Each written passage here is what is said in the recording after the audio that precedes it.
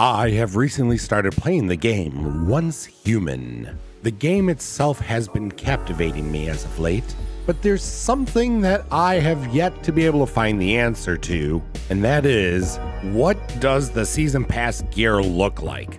As you can see, you get four special items if you buy the Stardust Advent Premium Bundle. I have searched high and low and found no images of these items in game. So I'm going to buy the season pass so we can look at these items together so you can determine if you want them for yourself as well.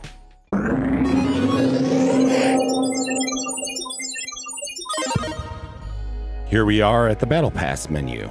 Since I haven't bought it yet, let's do so now.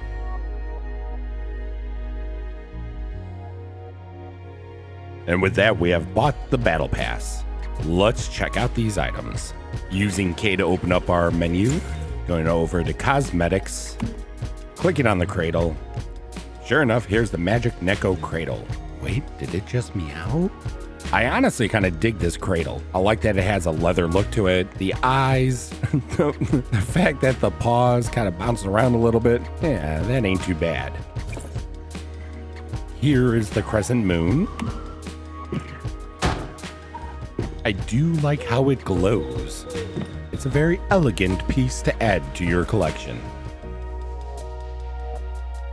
Going to the pause menu, Clicking on profile, we can edit our avatar.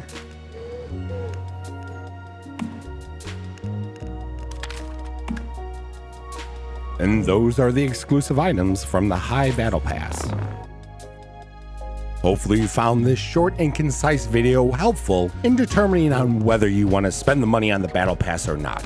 And if you did find this quick content helpful, then please leave me a like and subscribe down below. I am on a journey to try to reach 1,000 subscribers. Adventurers, I will see you in the next video. Bye bye.